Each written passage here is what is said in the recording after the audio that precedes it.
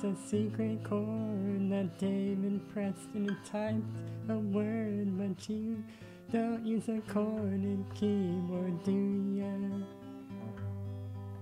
It goes like this, control and shift. The other hand hits H and left, and all at once it types